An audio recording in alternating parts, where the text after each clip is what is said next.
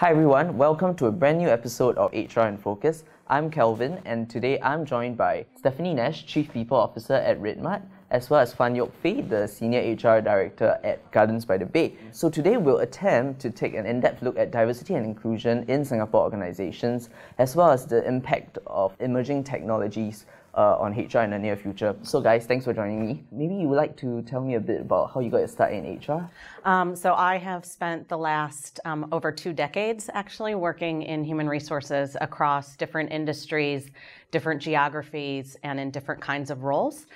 And more recently, actually, um, about 10 years ago, I relocated here to Singapore and was um, working for Microsoft, followed by um, Allergan, a pharmaceutical and medical devices company. And just over two and a half years ago, I joined um, Redmart, which was a, a, startup in the technology and e commerce space. And, and you for yourself? I've been with Gardens by the Bay for two years. Um, I try to keep myself in check in terms of uh, the aging process by thinking a bit millennial. So I've worked with quite a number of organizations uh, in transport, in IT, uh, and in tourism and leisure as well. So, um, a new survey from uh, Workforce found that gender, age, and disability inclusion is low in Singapore based on feedback from over 100 HR leaders like yourself. Um, what do you guys think of this? Do you agree? Well, I would certainly agree with the numbers if you talk about uh, statistics. Sure. But I would think it differs from organization to organization. For instance, where I am today, uh, we have a pretty balanced workforce. Um, I take care of the board as well. So at the board level, we can see diversity in terms of gender. We've got about 40% uh, female and 60% uh, male. Mm. So in the broader population, it's a bit the other way around. We've got 60% female and 40% male. Uh, and but I can't say the same for the previous companies I worked with. Right. So I, I think, uh, in my view, it depends on how an organization set itself out as uh, the need of the business, mm. and therefore um, how they would look for talent in general, and not so much in terms of the uh, gender diversification agenda as right. such. Yeah, I think from a from the perspective of Redmart, when we think about diversity and inclusion, we we we do look across all dimensions. So whether it be age, gender, national origin, um, I think generally speaking, we're relatively healthy as an organization, but we can never really become remiss in terms of how we think about the, the nature of the workforce that we bring into the organization and how we ensure that we've got an environment and a culture that is inclusive. And so when I think about diversity and probably spend more time thinking about it, it is more around the balance between um, local Singaporeans as well as foreigners and ensuring that we are continuing to demonstrate our commitment to developing the core of Singapore. And we do that through a number of different efforts. And part of that is our graduate development program, which also not only sort of ensures a healthy proportion of um, Singaporeans in our workforce, but also certainly brings in more of the um, earlier in career, younger dimensions of, of our organization. And we um, also look at how we can bring on board experienced hires um, who are in Singapore today or who have um, who come from Singapore and are looking to return home. So I think from my perspective, um, I, I do agree with the survey results in terms of my experience um, outside of, of Redmart, but currently in Redmart, I would say we're, we're in a pretty healthy place.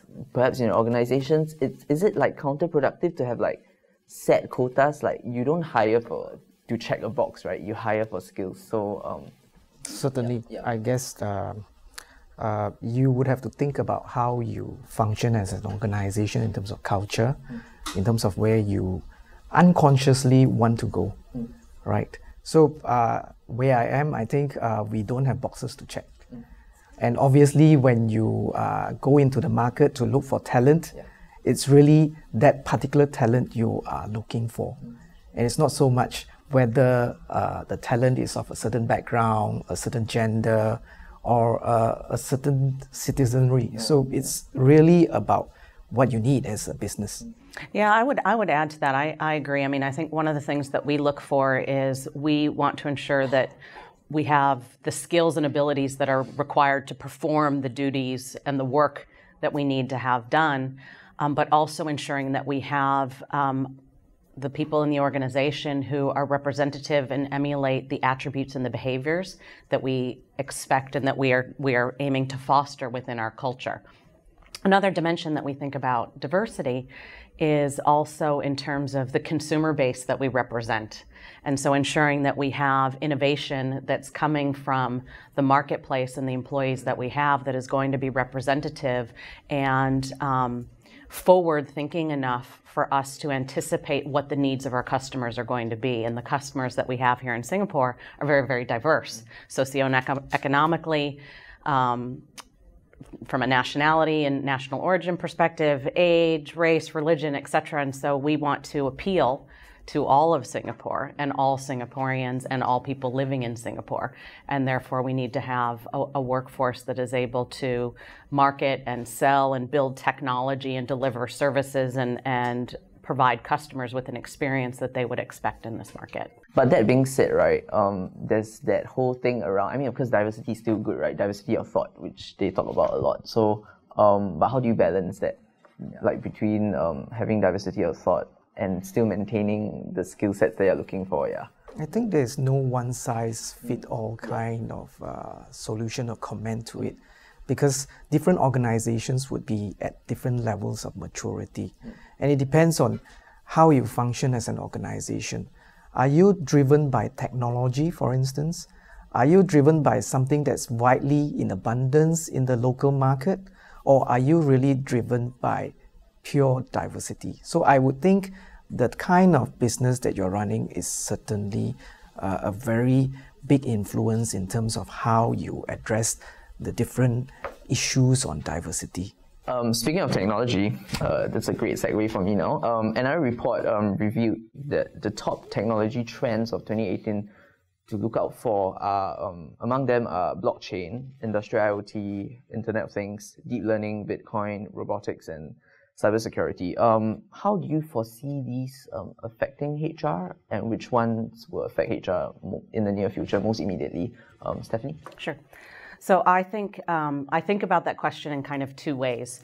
What does it mean for us in HR in terms of the talent that we need to attract um, and retain within our organization? So with the the emphasis on on technology and digital platforms, et cetera, we need to find attract and retain software engineers, data scientists, folks who work in who are specialists in artificial intelligence, cybersecurity, et cetera. And that is challenging in and of itself um, because the demand for this type of talent far outweighs the supply, mm-hmm. particularly when we think about this on a market by market basis. And so we really are thinking about talent attraction on a global scale.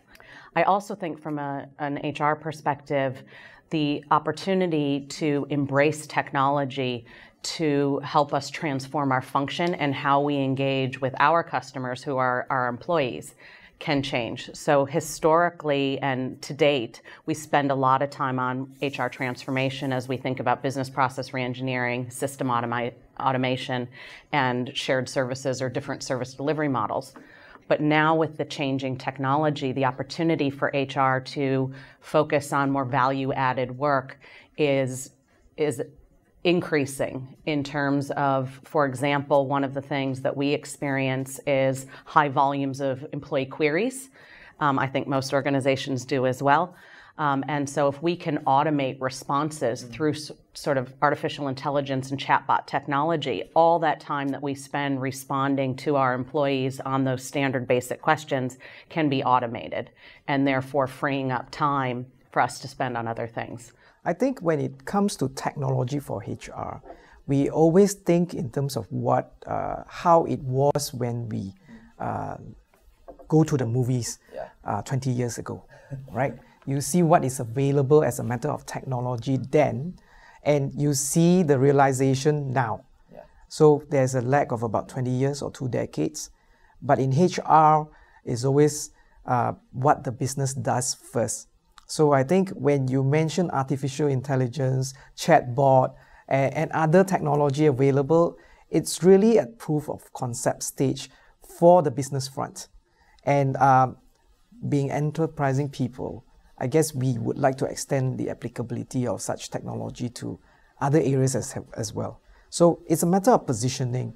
What would your organization like to be?